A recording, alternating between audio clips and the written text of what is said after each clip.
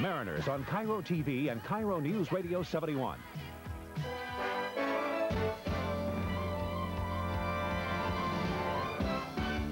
Now, Linda Coldiron and Gary Spinell Sports. This is KIRO Weekend Eyewitness News. Good evening. She's a former model, but she'll never work again. Her face savagely scarred the legacy of a knife attack by her own husband. In the first of a two-part series, Lee Carter introduces us to a woman who's been battered by her husband and the system. My son, when it happened, some children at school were teasing him. Your daddy stabbed your mama. You know, so he punched three boys out. 30-year-old Gina Altimer is a battered wife. The last time it happened, she had to be airlifted to Harborview after being stabbed several times by her husband. They had to remove a rib. The lung was, uh, it collapsed and it was injured very badly. Ernest Altimer is wanted for attempted murder because of the latest attack on his wife. 75% of all black women in the United States have been affected by domestic or, or, sexual violence. Byllye Avery is head of the National Black Women's Health Organization. She's in Seattle talking to mostly African women about domestic violence, something Gina Altimer has experienced on too many occasions. You know, he had knocked my tooth out, I had concussion, my eye, I had a blood clot in my eye, my eye was blood clot for, for four months. And I says, how can you tell me you love me and you want me and you could beat me like this and in front of the children? We are seeking counseling because my son has seen Arnett beat me at least five times and he would think that, uh, you know, I don't want him to think that's the proper way to do, you know, to treat a woman. The counselor is Tom Tolson, who says that domestic violence teaches boys that that's the way to solve problems and teaches girls that they should stay in their place. So it uh, has a very detrimental effect on, on children, yeah. That was the other message these women received during the domestic violence conference today. Also, the conference participants heard that African women are less likely to report physical abuse. That's because of their ingrown suspicion of the white power structure and because of economic considerations, as we will see and hear in part two of this report. Lee Carter, KIRO Eyewitness News. Franklin County Sheriff's deputies have resumed their search for the bodies of migrant farm workers who may have been murder victims in 1976. Investigators say the bodies were dumped in irrigation drains 10 years ago. They do have a suspect whom they will not name, but nobody is in custody at this time. Investigators first dug for those bodies last summer. The current search is part of a two-year investigation in cooperation with the State Attorney General's office. The search is centered on drains in the Basin City area. The King County Medical Examiner says a young woman whose body was found yesterday in Seattle's Seward Park died from a blow to the head. Her body was found yesterday morning in some bushes by a man and his son who were walking through the park.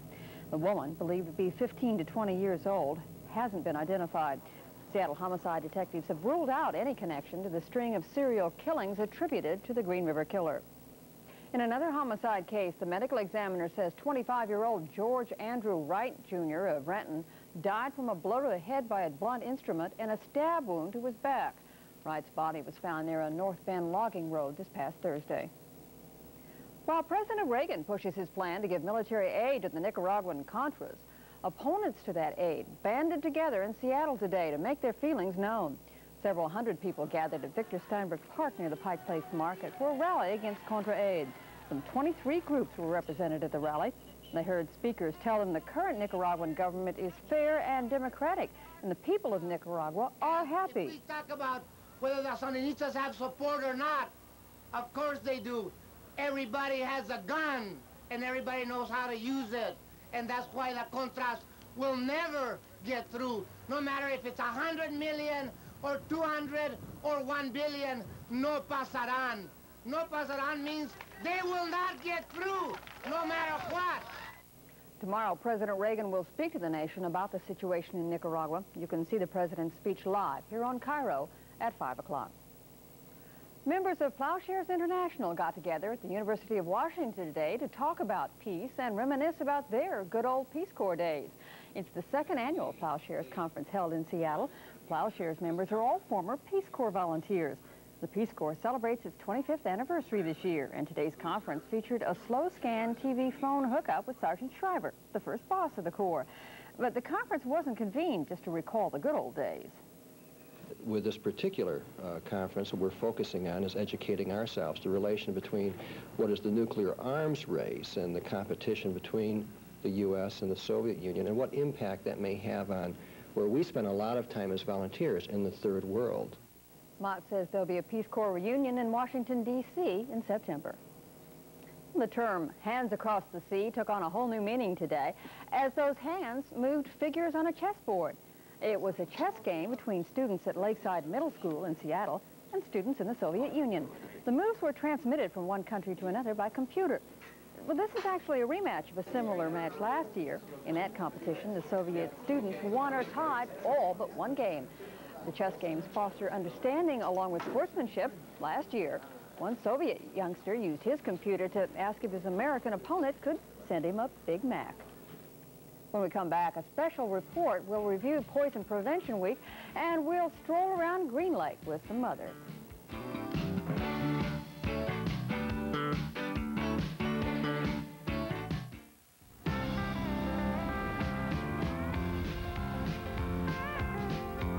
Love your truck.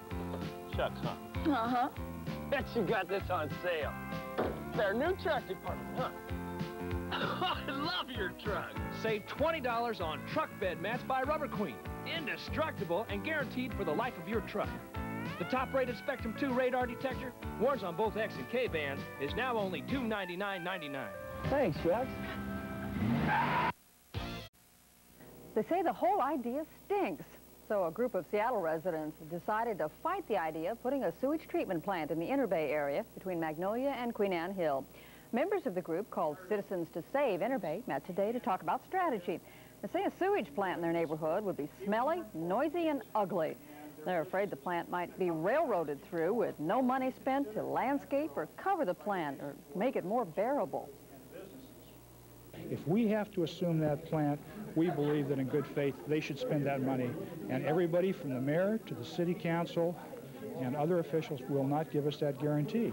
So we have good reason, I think, to be reluctant and resistant. After the meeting, group members collected flyers that will be distributed to residents of Queen Anne and Magnolia. Plant opponents say as many as 20,000 people would be affected by a sewage plant at Interbay. Seattle's Younger Set was also out today gathering support for their favorite cause. The little ones and their parents were part of the March of Dimes Buggy Brigade to fight birth defects. Parents and children were sponsored by people wishing to give the March of Dimes. The kids either walked or were rolled along a three-kilometer course around Green Lake, all the time earning money. Now, this wasn't a race. The strollers were just strolling. And at the finish line, there was a big picnic lunch. The Buggy Brigade is a preliminary event before next month's Walk America, the March of Dimes annual 30-kilometer walk to raise money to stop birth defects. Children also in the forefront of another campaign, poison prevention. Now, to kick off the start of upcoming Poison Prevention Week, youngsters from 48 King and Snohomish County schools took part in a Mr. Yuck poster contest. Mr. Yuck, of course, the now familiar warning symbol. Officials hope you'll stick on all your household poisons that might be in your kitchen or your bathroom. Today, the winners of that competition were honored today at Children's Orthopedic Hospital. There were three winners each in the third, fourth, and fifth grade divisions, plus several honorable mentions. One poster pointed out that poison spoils your appetite. But the poster didn't seem to bother the youngsters' appetites as everybody dug into cake and punch after the ceremonies. Well, when he suggested minorities and women should get a break in jobs to make up for past injustices and to offer role models for younger people, our commentator Lou Guzzo go to the letter writers into action. Mention affirmative action and equality for women, and the sparks fly. Richard Lee of Seattle responded to a commentary this way. You have apparently seen fit to support racism and sexism as practiced by affirmative action programs using the bankrupt logic of ends justifying the means. Such unfair, discriminatory, and perverted logic is foreign and abhorrent to this country's traditional ethics, values, and laws. Apparently, even the city has no confidence in the legality of its affirmative action programs, having recently settled out of court a lawsuit by eight firefighters over such discriminatory hiring practices. Jack Weichels of Edmonds wrote this. You suggested folks should hire minorities over white folks because of past injustices to minorities.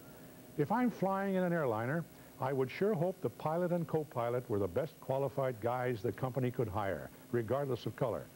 Even if I hired a plumber or electrician to work on my house, I would hope that that guy has the skills of his trade and not merely holding a job because his great-great-grandpa was a slave to someone else's great-great-grandpa. But Charles Franklin of Seattle disagreed. You hit the nail right on the head. If black teens had good role models and parents who were able to get good jobs and have the opportunity to get a good college education, the teens would see that they themselves could make it in this society and wouldn't mind putting forth the effort. Thanks for writing. I'm Lou Guzzo. No controversy here. Just Gary Spinell and sports and b-ball. Lots of b-ball. Basketball, basketball, and more basketball. we have three different sports today. Basketball, basketball, and basketball. And we'll talk about basketball when we come back.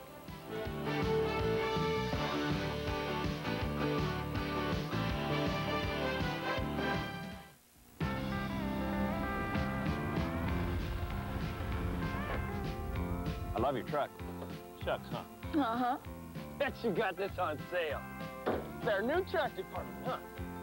I love your truck. Save $20 and improve your visibility and ventilation with an easy-to-install pass-through window from Superior. Now just $29.99. And durable Diamond Tread Superior running boards are just $49.99. Thanks, Shucks. The emerging popularity of Valley I-5's Blue Water Coastal Cruisers has created an entirely new class of boat in the 42 to 54 foot range. Coastal Cruisers combine sleek contemporary styling and high performance. They offer a low center of gravity, shallow drafts, and protected running gear. And Coastal Cruisers provide the extra spacious comfort and greater livability that more and more of today's boating enthusiasts demand. Blue Water Coastal Cruisers, made in the USA and sold exclusively by Valley I-5 in Kent. Definitely hot. Dempsey and Makepeace. Dempsey and Makepeace, Saturday at 7 on KIRO TV. Gary wasn't kidding. I was looking at his script. That is about all you have there. That's it, yeah. You know, there's a little baseball going on, a little baseball. There's no football. There's the golf tournament got rained out today. So, hey, we're talking basketball. All week long it's been basketball. So here's more today. Certainly no exception. We'll start with the local high school basketball tournament. All across the state, the teams gather. And right here, boys action, Mountain View and Ferris Woolsey puts Mountain View ahead. Ferris comes right back with Mark Wheeler's two for them. Mountain View comes back with a pair. Johnny Shepard has the bucket right here. And Ferris comes back as 52. Harvey Cobbs misses, but the shot is put back by Roger Hamlet. And here you have the final score. It's Mountain View 54 and Ferris 52. Third and fifth decided. Now the game you see on top there is the AAA game. That'll start at 9 o'clock tonight. It is Curtis and Garfield. Should be a dandy. We'll have highlights at 11. John Garrison Hoop wins it today for Walla Walla over Cascade. Check that. Cascade over Walla Walla, 57 to 56. And fourth and sixth are decided there. The boys double A tournament, Mark Morris will play Olympia at 7 o'clock. And Shorewood took third spot. And West Valley, fifth spot today. In overtime, Mark Nelson's winning hoop did that one. And Lynnwood is on top Hale, 69 to 56. Now, double A girls action, we had that over at the arena today. Chief Sealth and Woodway got together. A couple of points coming up here for Sealth as they go on to beat Woodway by a 63-40 count. Sealth thus takes third in the tournament while Woodway takes the fifth spot. Let's check all the girls action today. Juanita and Port Angeles will play tonight in the arena for the AAA girls title. Here are the others.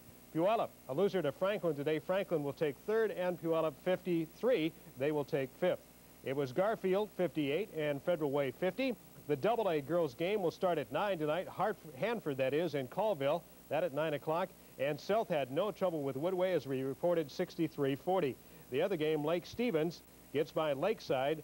And fourth and sixth decided in that one 57 to 49. You see the final score. As we switch to the NCAA tournament, the most exciting game of the day was LSU's upset win over 12th ranked Memphis State. Now, here's what happened. Game is tied, 81-81 as we pick it up. The clock is running out. LSU's Don Redden has the ball. Watch him shoot. He misses right there. The scramble is on. And watch, look at the clock. Two, one. Look at Redden. And the boys come up with the ball. That's Anthony Wilson fires it up, and LSU wins it 83-81. And yes, the Tiger coach Dale Brown was a mighty happy man after.